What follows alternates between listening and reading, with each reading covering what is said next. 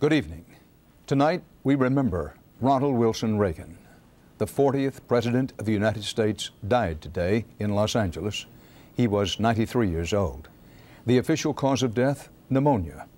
But the former president had been battling Alzheimer's disease for 10 years. With him, when the end came at his Bel Air, California home, was his life partner and chief caregiver in his final years, former First Lady Nancy Reagan, and their children, Ron and Patti. Ronald Reagan became president in 1981. CBS News correspondent Lesley Stahl covered the Reagan White House.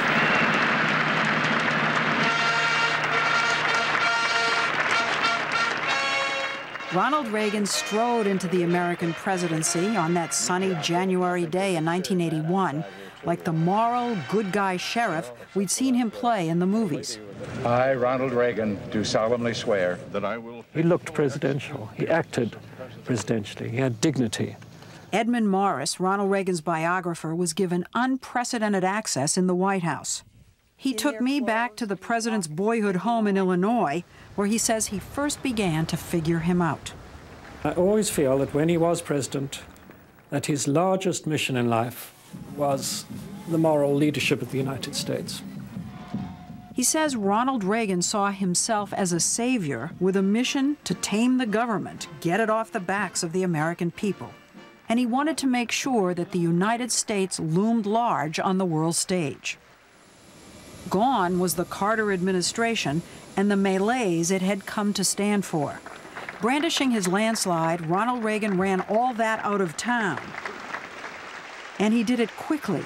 In fact, by lunchtime on his inauguration day. So we can all drink to this one. To the new president was able to announce what America had waited 444 days to hear. Some 30 minutes ago, the planes bearing our prisoners left Iranian airspace and are now free of Iran. 52 Americans held hostage by Iranian militants would be coming home. Though there's no evidence he had anything to do with securing their release, Ronald Reagan was the beneficiary. He got right down to business. And I have only one thing to say to the tax increasers. Go ahead, make my day. Proposing massive tax cuts and deep spending reductions, which the Democrats criticized as trickle down economics and welfare for the rich. But the wrangling and political backbiting stopped cold when a gunman opened fire, an assassination attempt. It was just three months into the presidency. I didn't know I was shot. In fact, I was still asking, what was that noise? I thought it was firecrackers. The bullets from John Hinckley's gun missed the president's heart by an inch. He almost died.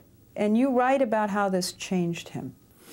He became, for the first time in his life, spiritual. He felt that he had been spared, and um, everything he did after that, he did with the sense that it was for the permanent good of the United States. The shooting made Ronald Reagan a hero and helped him restore power to the presidency. Mr. Speaker, the President of the United States. His proposal to cut government and taxes passed in the first hundred days of his presidency. If you will look back over his life, you will notice that somehow he got everything he wanted. He always prevailed. To see you. He was charming and appealing, a movie star turned president who lived up to his reputation as the great communicator as when he commemorated the 40th anniversary of D-Day on the beach at Normandy. We stand on a lonely, windswept point on the northern shore of France. And liftoff. When the space shuttle Challenger's astronauts, including a schoolteacher, died before the world's eyes, he led the country in communal mourning. We will never forget them, nor the last time we saw them this morning as they prepared for their journey and waved goodbye and slipped the surly bonds of earth to touch the face of God. When it came to his enemies, he rode them hard, like the Soviet Union, which he called the evil empire. To ignore the facts of history and the aggressive impulses of an evil empire, to simply call. I was there when he did his evil empire speech. And it was breathtaking, and he was really greatly criticized for this. Well, a lot of Russians will tell you that, that when he used that language, that biblical language, the evil empire, um, that was when they, for the first time, began to accept the fact that they were indeed an evil system. The president asked Congress for an additional $180 billion in defense spending. He put mid-range nuclear missiles in Europe and aimed them at Moscow. When it came to the Russians, it was always high noon. Mr. Gorbachev, tear down this wall. He understood the power of images.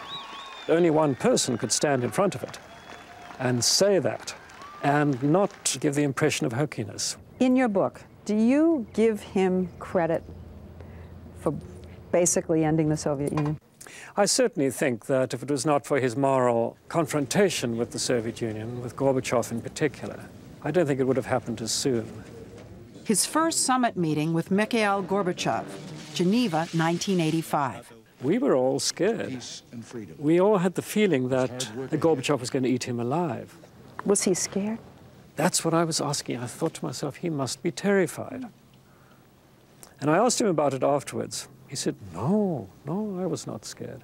And you know, he was not. The two had an instant rapport.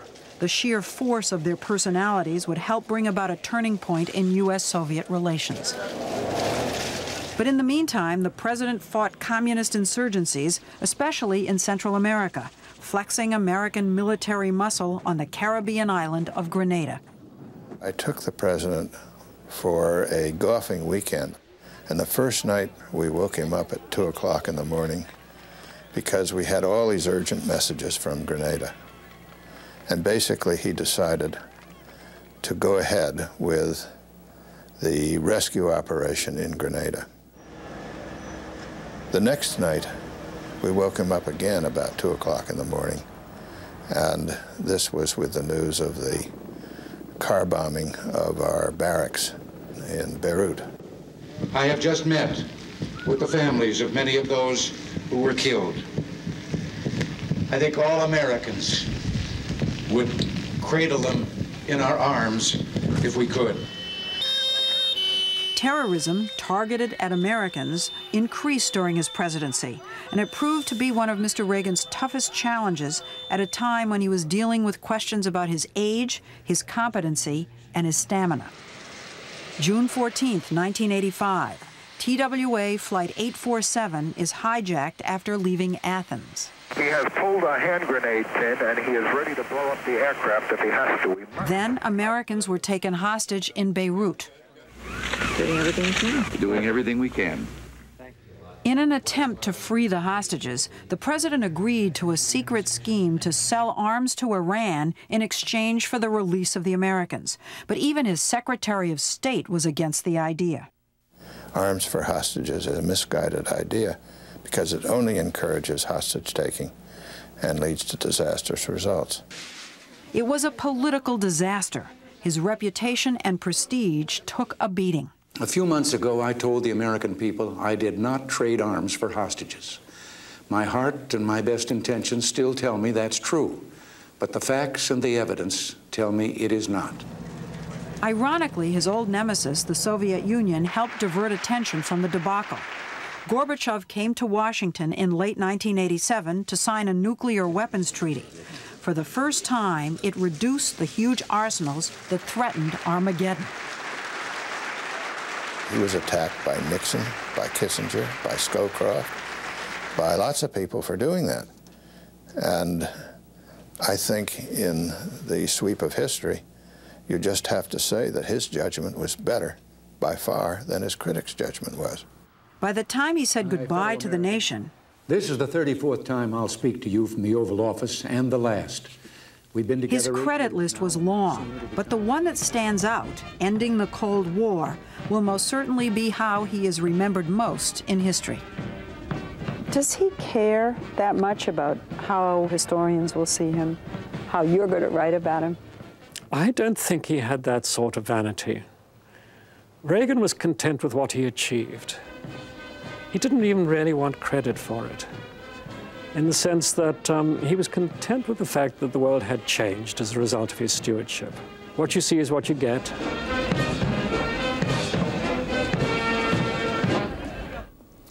Ronald Reagan left the White House in 1989. He spent his final years confined to his California home.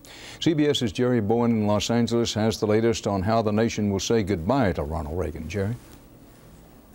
Dan, President Reagan's body will lie in repose at his Simi Valley, California library, perhaps starting tomorrow, setting off a week of official ceremonies and tributes, including the funeral in Washington, and then his final journey home.